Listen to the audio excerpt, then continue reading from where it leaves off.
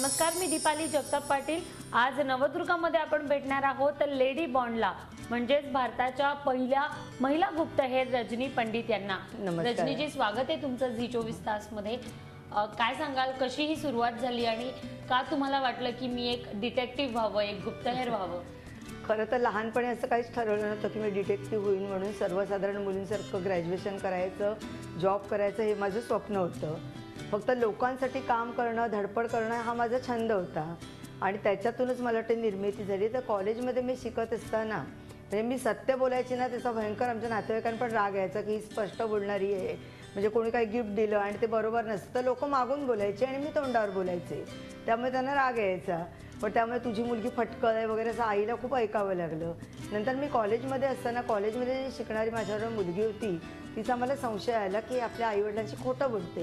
कारण तिच्या बोलण्यात आमचं गार्डन रुपारेलला मी होते आणि आमचं लॉन खूप प्रचंड मोठं होतं. तर काही टाईमपास असा की लॉनमध्ये आम्ही सगळे बसत असतो. तर माझ्या कानावर आलं की मी माझ्या आईवडिलांना मस्त फसवते रे वाच वाचनालयात अभ्यास करते सांगते आणि आईला ते खरं वाटतं.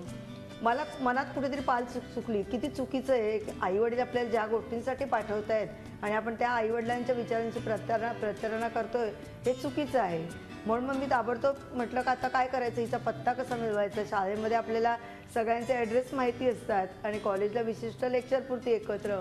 मी कॉलेजच्या क्लार्ककडे गेले आणि म्हटलं मला जरा पत्ता पाहिजे अशी अशा मुलीचा. तर मला म्हणे कशासाठी पाहिजे? तर म्हटलं नाही मला तिला गिफ्ट पाठवायचं आहे सरप्राईज तर म्हणे ठीक आहे देतो काढून. त्यांनी मला एक तासात बोलवलं आणि पत्ता काढून दिला. मी तो पत्ता घेतला आणि सरळ तडक त्यांच्या घरी गेले.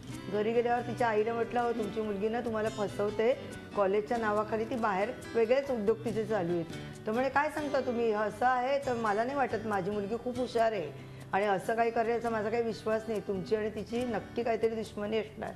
म्हटलं बघा तुम्हाला विश्वास असेल तेवढ्यात तिच्या वडिलांनी काय- कुठेतरी काही वाटलं. ते म्हणाल ठीक आहे तुम्ही दाखवू शकता का आम्हाला प्रत्यक्षात? म्हटलं हो दाखवेन. आता पैसेही तेव्हा फारसे नसायचे. वडील पॉकेट मनी द्यायचे त्याच्यातनं जमा केलेले पैसे. मग मी त्यांना म्हटलं तुम्ही मला अमक्या अमक्या ठिकाणी भेटा. ती मुलं तिची वाट बघत होती. दोन मोटार बाईकवाली होते. आणखीन एक जण गाडीतनं आला. ती त्यांच्याबरोबर बसली. नंतर हॉटेलमध्ये एका गेली. हे सगळं त्यांनी बघितलं की मुलगी आपली काय करते. आणि मग हॉटेलमध्ये गेल्यानंतर सगळी मुलं तिचा कसा गैरफायदा घेतात तिला ड्रिंक दिलं होतं स्मोकिंग करत होती. आणि मग नशा उतरल्यानंतर त्या नशेमध्ये माणूस कोणाचाही फायदा घेतो ते बघितल्यानंतर तिच्या वडिलांना खूप शॉक बसला. आणि ते म्हणाले आम्हाला वेळेतच कळलं. म्हणजे एखादी गोष्ट घडण्यापूर्वीच आपल्याला जर कळलं आजार काय आहे तर आपण उपाय करू शकतो. तसं मी त्यांना सांगितल्यामध्ये म्हणजे म्हणाले आता हिला कॉलेजमधनं आम्ही काढतो पण तुमच्यामुळे हिची जिंदगी वाचली म्हणजे वाईट वळणावर जाता जाता. म्हणून तुम्ही लेडीज स्पाय आहात असं मला वाटतं. तोपर्यंत स्पाय काय आहे काय मला काहीही कल्पना नव्हती. तर हे सगळं कळल्यानंतर मग मी असं म्हटलं अरे मी तर उत्तमरित्या करू शकते. तर आपण बघूया. म्हणून मी जाहिरात द्यायला गेले. तर जाहिरात कोणी घेईना. पेपरला कारण डिटेक्टिव्हच कोणी नव्हतं. आणि जे होते ते आर्मीचे लोक वगैरे ते सिक्युरिटीचे वगैरे काम करायचे. मंत्रालयात गेले चौकशीला की डिटेक्टिव्ह म्हणजे काय आहे? काही ट्रेनिंग आहे का? तर म्हणे काहीच नाही आहे फॉरेन कंट्रीजमध्ये डिटेक्टिव्हचं ट्रेनिंग दिलं जातं.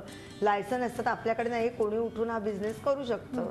तर मी माझ्या दृष्टीने संश सगळं शोध घेतला. तर कुठेच काही मला आढळलं नाही. तुम्ही महिला गुप्तहेर म्हणून समोर आला. पोलिसांच्या किंवा इतर समाजामध्ये तुम्ही महिला गुप्तहेर म्हणून समोर आल्या. कशा लोकांच्या प्रतिक्रिया होत्या? सुरुवातीला काय माहिती नव्याने पायमल्ली होऊ लागली की वाहन सुद्धा कुरकुरते. तसं लोकांनी खूप टीका टिप्पणी केली. अगदी मंत्री वगैरे जेव्हा भेटायचे ना महिला गुप्त आहेत असं म्हटलं की त्यांना एकदम शॉक वाटायचा की दुसरा काही व्यवसाय नाही का मिळाला? पण जसं जसं माझं नाव होत गेलं आणि अशा लोकांच्या केसेस होत गेल्या तेव्हा पहिली महिला गुप्तहेर हा जेव्हा लौकिक मिळाला तेव्हा समोरून मला अभिवादन मिळत गेलं. किती वेगवेगळी रूपं तुम्ही आजपर्यंत मी? आतापर्यंत वेड्याची भूमिका केलेली की एका हॉटेलमध्ये एका युनियनची मीटिंग होती की कंपनी बाहेर शिफ्ट होत होती आणि त्यांचं काय पुढच्या हालचाली आहेत काय करायचं काय नाही ते मला ऐकायचं होतं. पण आपण काय दुसऱ्याच्या टेबलाजवळ जाऊन बसू शकत नाही. तर मग हे बग सारखी अशी छोटी यंत्रणा असते. तर मी वेड्यासारखी त्या हॉटेलमध्ये फिरत होते. आमची फॅमिली होती. आणि मग मी काय केलं हळूच खाली अशी वाकत वाकत गेले आणि ते टेबलाखाली ठेवलं. आणि बाहेर माझी माणसं होती. त्यांना वाटलं तुम्ही कानाला लावून ठेवा. ते काय बोलतात काय नाही ते आपल्याला कळावं. म्हणून ते माझं काम आणि माझ्या घरच्यांनी सांगितलं जरा थोडीशी इथं साईड प्रॉब्लेम आहे. तर आय एम सॉरी तुम्हाला डिस्टर्ब होतोय. तर ते म्हणाले नाही नाही ओके आम्ही समजून घेऊ म्हणून. म्हणजे त्यांना काही संशय आला नाही. एका घरामध्ये सुनेचं आणि सासूचे वादंग होते. आणि मुलाला असं वाटत होते आई खरं बोलते की सून खरं बोलते हे काय कळत नाही. तुझं तो म्हणाल मॅडम काय करताय? म्हटलं मी मुकबधीर म्हणून तुझ्या घरी राहू शकते. फक्त तुला ते मॅनेज करायला लागेल. तुझ्या मित्राची बहीण आहे की तिला मुंबईत काहीतरी काम आहे आणि ती येते. आणि तोपर्यंत माझा चेहरा एवढा फेमस झालेला नव्हता. मग मी ती भूमिका केल्यानंतर मला कळलं की आईला ही किती त्रास देते. नवऱ्याच्या समोर पुढे पुढे आईच्या करायचा आणि नंतर सासूला केवढा तरी त्रास द्यायचा. ती आंघोळीला गेली की गिझरचं बटनच बंद करून ठेवायचं लाइट घालून ठेवायचे. हे सगळं मग मी त्यांना ते रेकॉर्डिंग करून दाखवलं. मग त्यांना बायकोचं हे सगळं सत्य उघडकीस आलं तर असे सगळ्या वेगवेगळ्या भूमिका करायला लागतात आम्हाला. एकदा मला काम करताना मला कोणी ओळखू नये ट्रेनमधनं जाताना संपूर्ण असं चेहऱ्याला हे लावायला लागलेलं. की माझा चेहरा जळलेला आहे असं पूर्ण मेकअप करावा लागला होता. मग या क्षेत्रामध्ये एक महिला म्हणून अ, कोणती आव्हानं आहेत असं वाटतं? महिला म्हणून काय असतं काही वेळेला खूप अडचणी पण असतात की एखाद्या ठिकाणी तासन तास एखादी महिला उभी असली की तिच्याकडे बघण्याचा दृष्टिकोन वेगळा असतो.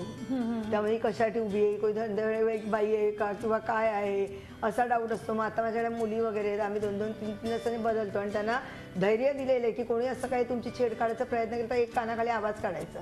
मी माझ्या कामासाठी उभी आहे तुला काही घेणं देणं आहे. असं करून मुलींना हिंमत दिलेली असते आणि आता गॅजेट्स इतकी आलेली आहेत की तुम्ही घर बसल्या सुद्धा एखादीची माहिती मिळवू शकता. तो कुठे चाललाय काय चाललाय काय करतोय इतकं सोपं झालेलं आहे.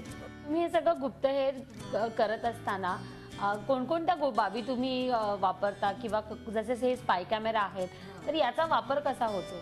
एक तर काय असतं घरात जर काही घटना घडत असतील तर काही अशा छोट्या छोट्या गोष्टी असतात. हा आता याच्या छोटाच मोबाईल सारखा मोबाईल दिसणार आहे तर हा मोबाईल जर तुम्ही बघितलं तर कुठे सापडला तर कोणतरी म्हणेल तुमचा विसरून गेलेला आहोत. पण तु- आम्ही एक नंबर कनेक्ट करतो. त्याच्यामधनं तुम्ही जे काही बोलता ते तुम्ही अगदी फॉरेनला सुद्धा ऐकू शकता. असं आहे. त्याच्यानंतर आता हा किचन कॅमेरा आहे. किचन कुठेतरी तुम्ही अडकवलेत. हां. तर ऑडिओ व्हिडिओ दोन्ही होऊ शकतं. की घरात मुलींबरोबर ज्याच्यात camera आहे. आहे. किंवा काही आहे. हे आहे. हुक की इथे तुम्ही शर्ट वगैरे अडकवलं हां. की काही कळत नाही. पण त्याच्यामध्ये एक कॅमेरा आहे. ते लोकांच्या लक्षात येत नाही. हे आहे. तुम्ही टीव्हीवर वगैरे ठेवलं तर इकडे समोर हां तर ते काही कळ लक्षात येत नाही. तर अशा छोट्या छोट्या वस्तू असतात की तुम्ही घरातल्या घटना निदान नमूद करू शकता.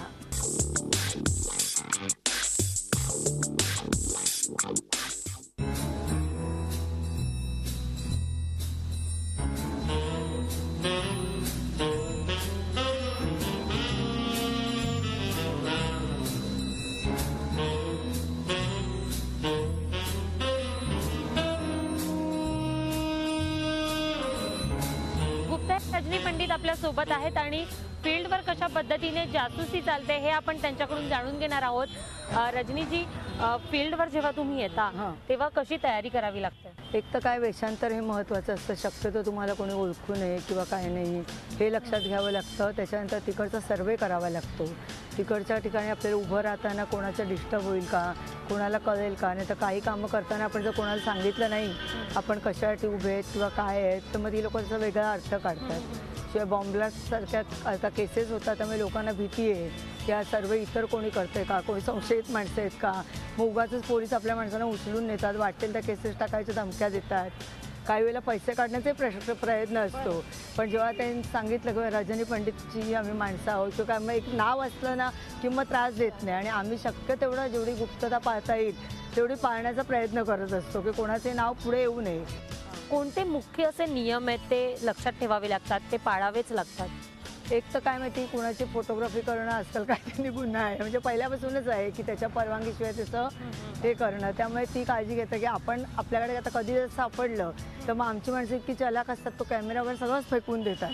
त्यामुळे पटकन पकडली जाण्याची शक्यता कमी असते. त्यामुळे किंवा मग अशा वेळेला अचानक काय करायचं की आपल्याला वाटलं आता ह्या माणसं आपल्याला पकडणार आहे. तर जे काही त्या कॅमेऱ्यात असेल ते पटकन डिलीट करायचं.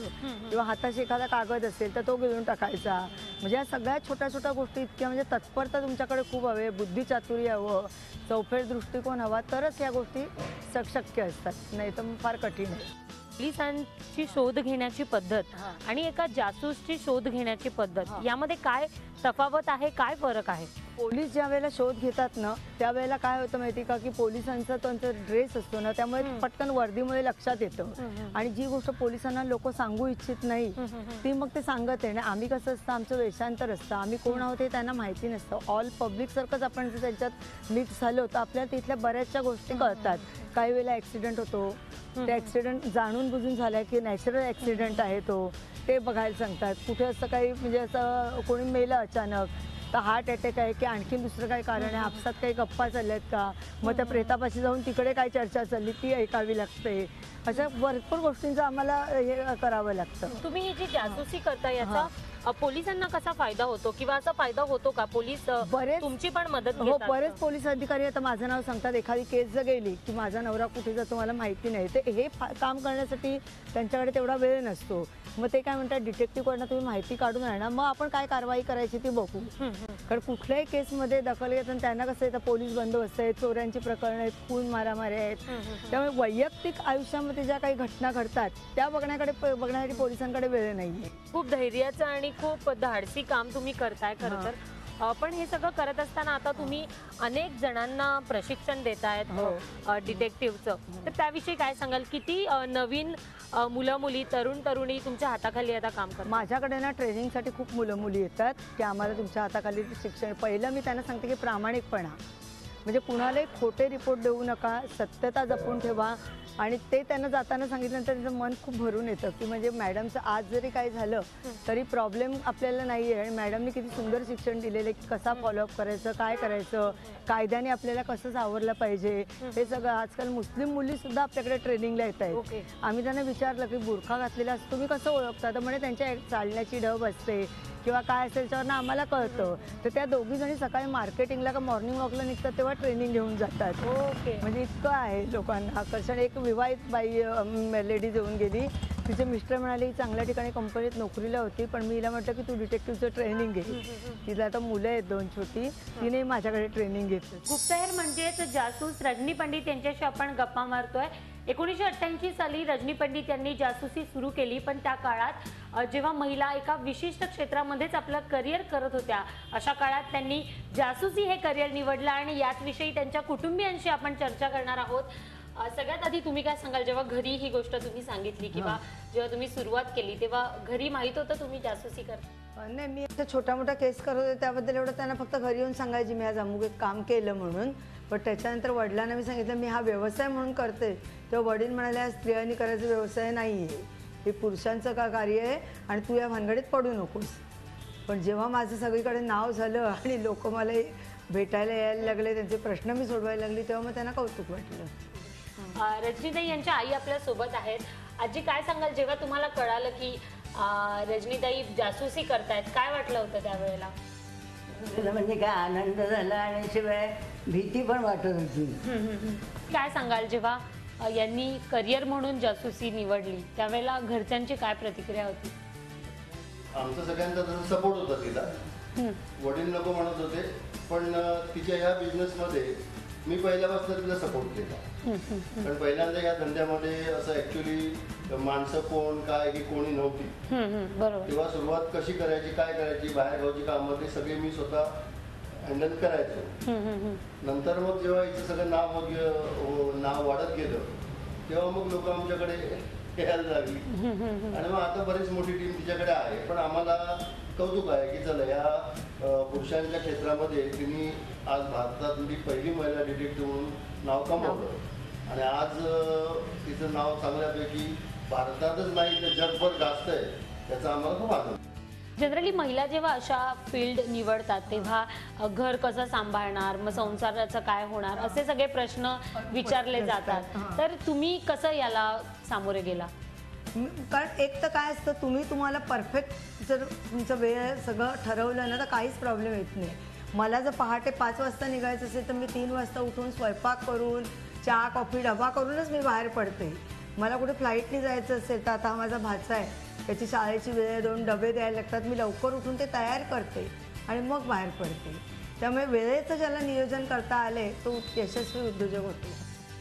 तुम्ही एक महिला जासूस आहात महिला डिटेक्टिव्ह आहात. आता आपल्याला माहिती आहे की मुलींच्या सुरक्षेचा प्रश्न आपण अनेक वेळा उपस्थित करतो. तशा काही घटना देखील घड- घडतात.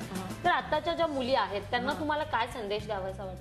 एक तर जेव्हा ते एखाद्या टॅक्सीत बसतात तेव्हा तो टॅक्सीचा नंबर नोट डाऊन करायचा तो मैत्रिणीला किंवा घरच्यांना तो कळवायचा की आपली लास्ट मुमेंट काय आहे कुठे आपण उतरलो की या छोट्या छोट्या घटना आहेत ना ह्या मोबाईलमध्ये तुम्ही केल्या की तो डाटा तसाच राहतो. आणि आपल्या आगे आजूबाजूला कोण आहे? बाहेरची माणसं आपल्यावर वॉच ठेवून आहेत का? आपल्या वेळा तपासतायत का? तर चौफेर तुमचं लक्ष हवं. म्हणजे ज्या तुमच्या भोवती घटना घडतात कुठे बलात्काराच्या होतात कोणी ॲसिड फेकतं कोणाचे काय आणखीन अपघात होतात तर ह्या सगळ्यामध्ये आपला शत्रू कोण आहे? आपल्याला कुठून धोका आहे? हे सगळं तुम्ही आजूबाजूला नजर ठेवली पाहिजे. किंवा स्वतःच्याच ह्याच्यात आणि सतत मोबाईलवरती व्हॉट्सअप आणि हे बघण्यात रंगून जाऊ नये. तर छोट्या छोट्या गोष्टींना तुम्ही सतर्क राहिलं पाहिजे. असं मी महिलांना सांगू शकते. रजनी मॅम खूप खूप धन्यवाद तुम्ही आम्हाला इतका वेळ दिलात. जासूस रजनी पंडित यांच्याशी आपण गप्पा मारत होतो. आज नवदुर्गामध्ये इथेच थांबूयात. गेल्या नऊ दिवसांपासून आपण विविध आव्हानात्मक क्षेत्रात महिला कशा पद्धतीने कामगिरी बजावतायत? केवळ करिअरच नाही तर घर मुलं संसार आणि स्वतःच्या आवडीनिवडी त्या यशस्वीपणे सांभाळतायत. आणि अशा सगळ्या महिलांना झी चोवीस तासचा सलाम.